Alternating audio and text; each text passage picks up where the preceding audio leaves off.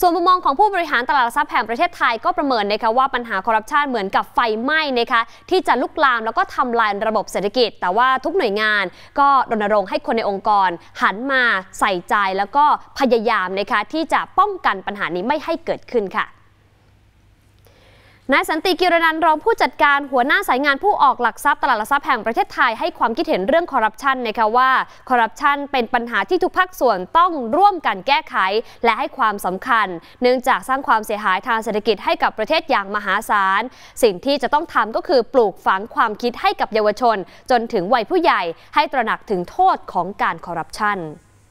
ผมว่าคอร์รัปชันมันก็เหมือนกับไฟไหม้คือไม่เหลืออะไรเลยนะครับดังนั้นเนี่ย ต้องป้องกันไฟไหม้ตั้งแต่ต้นทางนะครับ ป้องกันอย่างไรก็ต้องปลูกฝังความคิดนะครับเยาวชนตั้งแต่เริ่มต้นเลยเนี่ยจนกระทั่งขึ้นมาถึงเเป็นวัยผู้ใหญ่ ถ้าเราปลูกฝังความคิดกันมาตั้งแต่ต้นเนี่ยผมมั่นใจว่าในอนาคตประเทศไทยก็จะปลอดคอร์รัปชันได้ครับเรื่องคอร์รัปชันเนี่ยนะครับมันตรงข้ามกับความเป็นคนดีอย่างแน่นอนนะครับความเป็นคนดีเนี่ยเราถือว่าเป็นคุณสมบัติพื้นฐานของทุกคนอยู่แล้ว เพราะฉะนั้นด้วยความ เป็นคนดีที่เป็นคุณสมบัติพื้นฐานเนี่ยนะครับ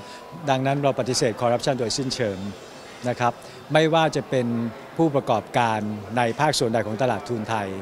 ตาทรัพย์ส่งเสริมให้ anti corruption ทุกคน และตาทรัพย์แห่งประเทศไทยเองก็เป็นแบบอย่างของการดำเนินการเช่นนั้นด้วยนะครับที่เราไม่ข้องแวะไม่แตะต้องไม่ยุ่งเกี่ยวกับคอร์รัปชันด้วยวิธีการใดวิธีการหนึ่งโดยเด็ดขาดครับ ทางด้านผู้บริหารของบริษัทจดทะเบียน ซึ่งได้รับรางวัลผู้บริหารสูงสุดยอดเยี่ยมจากเวที SET Awards 2016 นะคะ ต่างก็ให้ความสำคัญกับการต่อต้านคอร์รัปชัน ร่วมกับการใช้หลักธรรมาภิบาลในการบริหารงาน เพื่อให้เป็นที่ยอมรับและเกิดประโยชน์กับสังคมอย่างสูงสุดค่ะ ผมเชื่อว่าในการทำธุรกิจของเราเนี่ยนะครับ เราพูดถึงการหลักธรรมาภิบาลที่ดี เราจะต้องทำธุรกิจด้วยความโปร่งใส มีความยุติธรรม มีความซื่อสัตย์นะครับ ต่อผมใช้ก็ว่าไม่ว่าจะเป็นนักลงทุน หรือผู้มีส่วนได้เสียนะครับผู้ค้าลูกค้าแล้วก็พนักงานของเรา ผมยกตัวอย่าง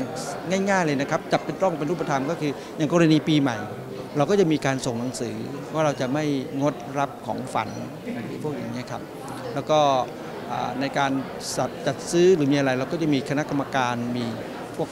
หน่วยงานตรวจสอบเข้ามาด้วยดูแล นะครับเรามีจัดตั้งคณะกรรมการตรวจสอบ พวกนี้คณะความเสี่ยงช่วยเข้ามาดูแลด้วย ผมว่าการต่อต้านทุจริตคอร์รัปชันก็ยังเป็นประเด็นนะครับของสังคมไทย แต่ผมเชื่อว่าถ้าทุกคนช่วยกัน ประเทศไทยก็ยังคงมีความหวังครับ ผมเชื่อว่าแก้ได้ครับ ถ้าทุกคนช่วยกันร่วมมือกันครับผมในเรื่องการต่อต้านคอร์รัปชันในบริษัทก็ได้รับ certificate แล้วแล้วก็ดำเนินการอย่างต่อเนื่องมานะครับ ก็เรื่องนี้เราให้ความสำคัญมากๆนะครับเพราะเราเห็นผลกระทบมาก ๆ เลยว่าการคอร์รัปชันนี้มันมีผลต่อเศรษฐกิจของประเทศอย่างไร การถ้าเราเป็นส่วนหนึ่งของสังคม เรามีส่วนร่วมตั้งแต่บ้านในบ้านนะครับสังคมเล็กๆจนกระทั่งถึงองค์กร